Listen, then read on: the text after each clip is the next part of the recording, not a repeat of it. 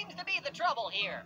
This man has been stealing from dear old McPotiphar since the day he arrived here. Little Joe? This does not look good. Joe, me lad, how could you? What do you have to say for yourself? I'm innocent. Tell it to the judge.